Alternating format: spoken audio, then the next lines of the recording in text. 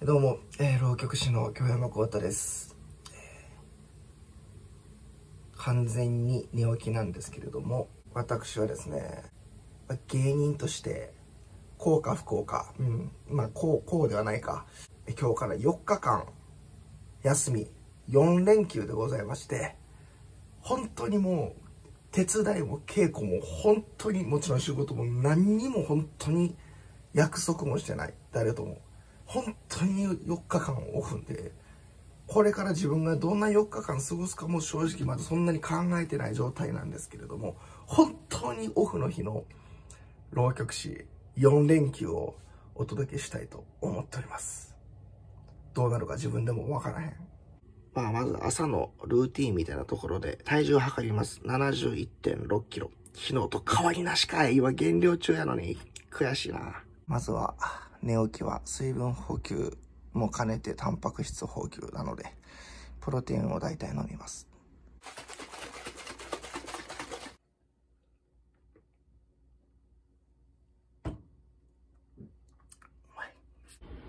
えー、プロテインを入れたら2食目。ご飯の上に卵とツナ缶と納豆とかけて上からネギをまぶしたやつ。大体毎朝これですね。美味しかったです。ご飯食べたのでちょっと出かけてきます。えー、大阪は塚本駅に着きました。私が最近行ってるジャングルジムスポーツというジムがあるところでございますんで思いっきり鍛えてきます。商店街を通っていくんですけど結構何ていうかハードコアというか限界まで追い込むところなんでかなりしんどいんですよジムが。この商店街ジムに着くまでのこの商店街歩く時点でちょっともう緊張してます。えー、着きましたジャングルジム、えー、また改めて今日は撮影とかしないんですけどジムの様子。あのまた改めてジャングルジムさんとコラボでなんかトレーニング中の様子も撮れたらいいなと思います。今回ちょっと撮影しないですけど頑張っていきます。あ終わりました、ね、約1時間半頑張りました。あ今日はまだ楽な方の日なんやけどまだねそれでも結構疲れます。あうまい。トレーニング後に飲むプロテイン。もうむちゃくちゃうまいですね。最高。そこのライフで買ってね毎回買えるんです。ついでにツナ缶も買いました。最高。帰ります。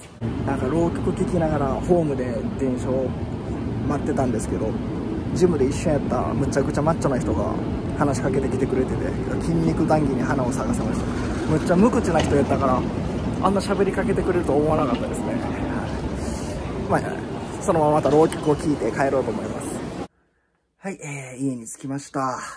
帰り道は、春日井梅陽師匠の天野理平を聞きましたね。梅陽師匠って言ったら何やろ、なんか、うん、単価とか、節とか。いや、それ、それがないって言ったらそんな失礼ないけど、そんなことよりもなんか、声、声に全振りしてる感じがいいですよね。なんかね、声だけで人殺せそうな 浪曲界随一の太い声みたいなんで。なんか、結構節シンプルなんですよ。何があんなにして、何とやら、結構繰り返したりもするから、あの、最近はあんま聞いてなかったんですけどね。うん、なんか、久しぶりに、なんか聞いてみようかなと思ったら、うん、まあ、かっこいいですよね。なんか、こうやっぱ昔の浪曲聞いてると、もうどうしても仕方ないんやけど、あの、中心蔵とか分かってお客さんが知ってる前提でやるじゃないですか。で、実際知ってたしね、昔はね。うん、今聞いたらちょっと初見やと意味わからへんなと思ったりしますね、どうしても。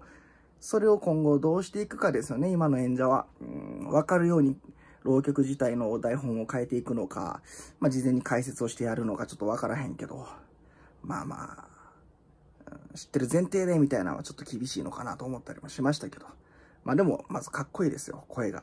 うん、ご飯食べか。えー、ご飯はですね、こういう醤油味のスープで具が鶏肉みたいなのを事前に作ってて、うんまあ、自分はそれ筋肉汁って呼んでるんですけどそれに米をぶっ込んでネギを振りかけた、えー、まあ、料理と言えるかどうか微妙な代物ね。もう筋肉への餌ですね。食べていきましょう。いただきます。うまい。ああ、美味しかったです。ジムの後、シャワー浴びてへんし、ご飯食べて結構汗もかいたんで、シャワー浴びましょう。あ、風呂上がりまして、さっぱり、もう筋トレ後のプロテインと風呂はもう最高ですね。で、なんだかんだもう2時20分になっちゃってますね。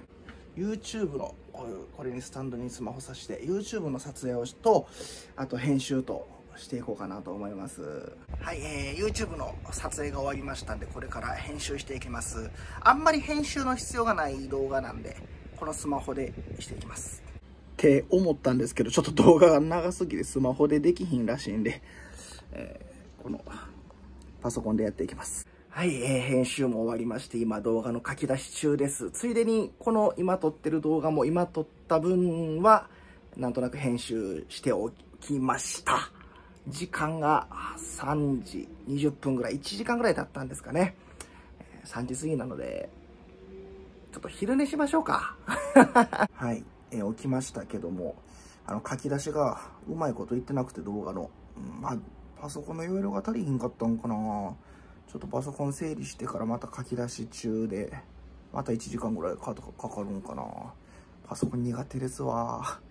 仕方ないから待ってる間、えー、4食目食べようかなと思います。では、謎の筋肉汁を作っていきます。熱したお湯に今鶏、鶏肉、1日分焼くね。まあ、この夕方に1日分入れちゃうと、また明日また言うんやけど、まあ、とりあえず1日分 400g 入れました。そこに、まあ、醤油を、適当とめんつゆを適当。ちょっと醤油足りんかな。で、えー、混ぜて、えー、火が通るのを待つ。以上です。はいできました。謎の筋肉汁でございます。ほんであらかじめ 100g お米を測ってたのでこれにまあ大体この肉の3分の1やから400の3分の1やからまあ大体 130g 分の鶏肉とあとプラスなんか汁をご飯の方に入れていくと。で、えー、ネギを乗っけまして4食目の完成です。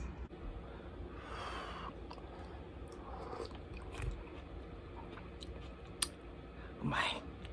なんかビタミン大丈夫？とか思ってくださるかもしれないですけど、あの、マルチビタミンとか飲んでますんで、まあまあなんとか大丈夫ちゃうかなと思ってます。書き出しができなかった理由がちょっと特定できなくて、もうちょっと心が折れたんで。外に出かけてきます。お目当ての店に着いてん、着いたんですけど、なんか、潰れて別の店になってます。なんか何やってもうまくいかんぞ今日。空いてなかったんで違うところで飲みます。ウィー。2軒目です。3軒目です。おはようございます。飲みすぎました昨日。何この紙ちょプロテイン飲みたいんやけどプロテインシェイカーがない。どどこにやったのめっちゃ頑張ってなんかコップで作ってみました。プロテインシェイクがない。昨日できなかった。動画のアップロードをちょっともう一回挑戦したいと思います。パソコンの処理に小1時間かかるんで、えー、朝ごはんを食べます。2食目を食べます。全く昨日と一緒、うんまあえー、やっとあの動画をアップできそうな目処が立ったんでもう昼過ぎました。大変。大変でした今回。えー、ご飯食べに行ってきます。美味しくて筋肉にもいい食べ物。です。お寿司最高。今動画をアップ中なんですけどももう待つしかできないんでカラオケに来て練習がてら声出します。いやカラオケ終わったんですけどなんかスマホ見たらまだアップロードできてないんでちょっと時間潰さないといけないんであのちょっとだけちょっとだけ飲みます現在夜の8時、やっと動画公開できました。むちゃくちゃ長かった。こんなに大変なんですか。どうも。イエー。おはようございます。4連休3日目でございます。いや、昨日ほんまに無事に YouTube 上げれてよかった。どんだけかかんねんっていうね。えー、ぜひ見てください、この前の動画。あの、30分丸々ある師匠との掛け合い浪曲ということで、まあ、それでだいぶ時間かかったんですよ。容量が大きいから。ぜひ見てください。プロテイン飲んだんで、これから朝ごはんでございます。ご飯ができました。昨日ちょっと炭水化物を取りすぎたんで、朝は米 100g だけと、筋肉汁と卵を入れたものを熱したなんか雑炊みたいな何かです。マッチを見ながら食べます。はい、えー、食べたんで、これからラジオを撮っていきます。この、えー、タブレットで。ほんまは昨日撮らないとあかんかったんやけど、YouTube の関係でスマホが使えない状態だったんで、それだけで。えー、これから1日遅れになっちゃって申し訳ないんですけど、撮って公開しようと思います。えー、ラジオ撮り終わったんで、ご飯食べながら、なんかバラエティを TVer で見ながら、ほんで、この後どう、この1日どうするかを考えて、うん、見ます、ちょっと。えちょっと昼寝しちゃって、でもシャワーも浴びまして、各方面ちょっとお仕事の電話とかもしましてね、もう自分のビジネス電話の下手くそ見てほしいわ、ほんまに。こあ、わざわざお電話ありがとうございます。あ、いや、もうこちらこそ、えこちらこそです。いい、いい、みたいな。勢いとニュアンスだけでね、やりきって。ちょっとね、ネタを食いたいんで、あさっての仕事のためとか、家にいてもじっとしてるも嫌だから、歩いてくろうと思います。散歩してきます。ネタの稽古は、終わりました。まあまあ大丈夫かなと思います。すごいなんか歩きやすい動きやすいいい気候で、えー、このままなんかちょっと考え事もしたいですね。歩きます、えー、道頓堀です。今日なんかあの阪神が優勝するんちゃうか言うてる日ですね。どうなるか知りませんけどなんか街全体が浮き足立ってる気がしますはい、えー、帰ってきましたネタもくれたしパンク侍もあの大体あの構成は浮かびましてあとは細かいところを台本にしていくだけかなと思います。まあね、私ぐらいになると、まあ、散歩してたらネタなんて浮かぶんでね。いや、浮かんでよかったです。ご飯食べようかな。えー、1、2、3、4食目。今、夕方5時ですね。えー、ご飯はもう皆さんも飽きてきたでしょう。もちろん、え筋肉汁、えー、米 100g です。えー、今日は気分転換に銭湯に来ました。筋肉の疲れを落とします。銭湯から上がってちょいとちょいと飲みます。やっぱりね筋肉には寿司ですわ、えー、おはようございます。4連休4日目の朝。むっちゃ早起き。7時です、えー、もうこの3日間なんかむっちゃ毎日飲んじゃったからもう今日の課題はとにかく飲まない もうそれを今日は頑張りたいと思います。うん。あ、昨日阪神優勝してましたね。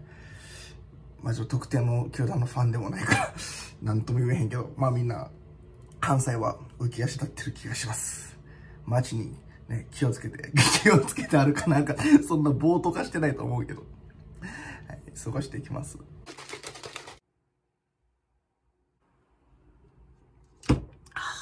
えー、動画編集をしたので、今から2食目です。よし今日も行ってきます。塚本駅に着きました、えー、電車が遅延してて2 3 0分遅くなってもたんやけど、えー、今日は足トレ頑張ってきます。足トレ終わりました。プロテインうまい。達成感です。移動しよう。え移動中は玉川勝太郎師匠の忠治と五郎蔵を聞きました、うん、声も節も単価もさすがですよね。お昼はやっぱりお寿司を食べます、えー、やってきたのが日焼けマシンです。久野ですはい今全裸でもう絶対に顔だけ焼かへんように顔をくるんで久野のマシンで焼いていきます。いや久野で焼いてる浪曲師は自分だけでしょ世の中で。ちょっとどうしてもね焼かなきゃいけない理由がありましてね、うん、2月ぐらいまでに真っ黒にならないと顔より下だけね理由があるんで焼いていきます。ちょっと分かりにくいけどだいぶ焼けた気がします帰りました。寝ます。えー、起きました。えー、5食目は、なんと、筋肉汁です。なんだかんだでもう6時半で、だいぶ外も暗くなってきました。日が短くなってきてるのをなんか実感しますけれども、ちょっとね、あの、そろそろ仕事をしようと思います。明日が、あの、ワークショップと浪曲みたいな仕事で、浪曲についてのちょっと講座みたいなのも言わないといけないんで、ちょっと話す内容を考えるのと、ネタ来るのと、えー、やっていこうかなと思います。はい。えー、まあ、ワークショップで話すことも、稽古もできました。今夜7時半ぐらいですね。どうしようかな。9時ぐらいにもう一食食べるから、まあ、そこまで昨日ある程度思いついたし、ちょっとパンク侍書こうかな。そうします。はい、えー、現在夜の9時前です。パンク侍切られて候の、あの、変えていくの、だいぶ、あの、前半の前半って感じですけど、あの、ちょっと進んで、だいぶ変わりそうですね。うん、やってみないと、出来が良くなってるのか悪くなってるのかわからないですけど、なんかちょっと、いい意味で、今までの浪曲にない感じ、浪曲らしくない感じでできるんちゃうかなと思います。はい。今からこの、もうこの4日間撮ってた動画を編集して、アップ今日中にできるかな？それこそまたパソコンの機器の調子でできひんかもしれんけど、もしかしたら本日中にできるかなという感じでございますね。えー、最後に今から、うん、最後の5食目食べて、えー、という感じでございます。まあどうでしょう？無事に酒もこの調子だともう飲まなそうやし、寝る前にね、気が緩んで飲まへんようにだけしたいと思いますけど、まあおそらく大丈夫かなと思います。こんな調子ですよ。もうほんまに何面白いとか関係あらへん。リアルな4日間の様子でしたね。どうですか？どうなんやろ？普通の人の暮らしがわからへんけど。まあちょっと変かもしれへんね。あの、同じもんばっか食べてるあたりとか。やっぱそれはね、筋肉のためには仕方ないんやけど。まあやっぱ自由、時間が自由っていうことがね、大きいですよね。夜からほんな今から仕事始めようか、みたいな、ないでしょうしね、なかなか。うん、まあ変わってるっちゃ変わってるけど、別に普通っちゃ普通で。まあ割と普通ちゃうかなと思いますけどね。うん。散歩とかよくします。ま、こんな調子で4日間、まあいつも休日も割とこんな感じが多いなと思ってます。はい。じゃ明日の舞台が、いい舞台になりますよ。うん、準備をして、一日終えたいと思います。だらーっと4日間お付き合いいただきまして、ありがとうございました。またどっか舞台で会いましょう。ほんなら。